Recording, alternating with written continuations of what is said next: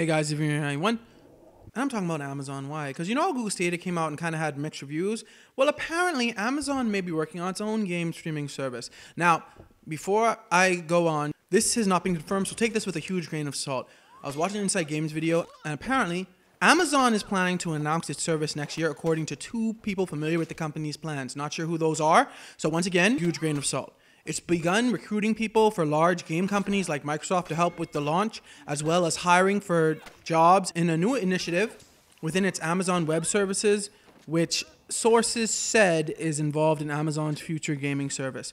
Now, do I believe this? Eh, it could be possible. I think Amazon would be a very good contender for a game streaming service, but they'd have to do it right. One of the things that I also think held Google Stadia back is the fact that you had to own a Google Stadia Chrome Ultra to play on day one.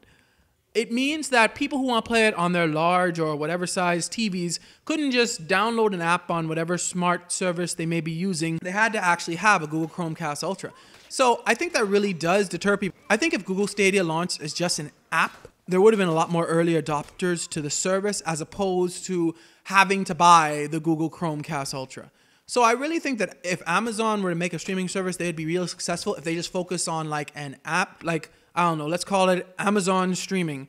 If it was just an app and anyone could download it and anyone could sign up for the service once they have the app on any smart device, basically, I think Amazon would kill. But what do you guys think about Amazon possibly going into gaming? I mean, they're already own Twitch, so they're already kind of in gaming.